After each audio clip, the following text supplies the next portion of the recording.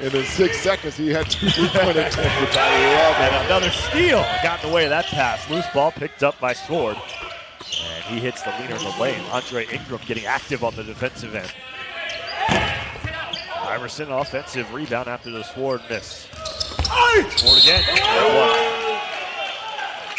Slithering his way right through there. It depends what kind of night. Swiss Army, it doesn't matter. You know, Sword is like, hey, count it. No, I mean, the, the offense, the chemistry is just not there for South Bay Lakers. They just don't seem like they're gelling as well as they normally do. But people like Marcus Allen making things happen.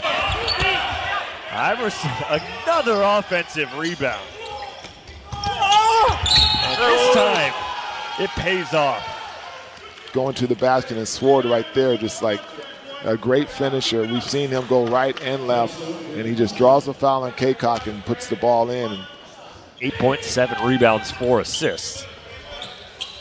Sword to his right. Good move for Craig Sword.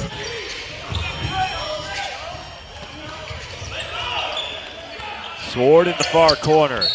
He hits the three.